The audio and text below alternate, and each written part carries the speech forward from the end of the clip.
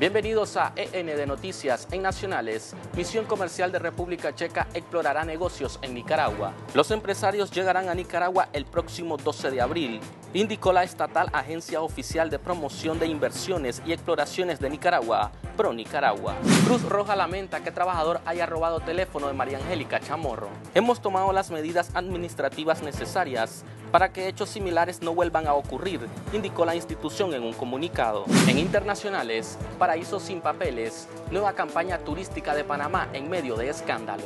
Es el momento de enseñarle a la gente las maravillas naturales y culturales que tiene Panamá, ahora que los ojos del mundo están sobre nosotros. En deportes, Barcelona define que Neymar puede ir a los Juegos Olímpicos, pero no a la Copa América. La Copa América Centenario se disputará en Estados Unidos del 3 al 26 de junio, mientras que el torneo de fútbol de Río será entre el 3 y el 20 de agosto.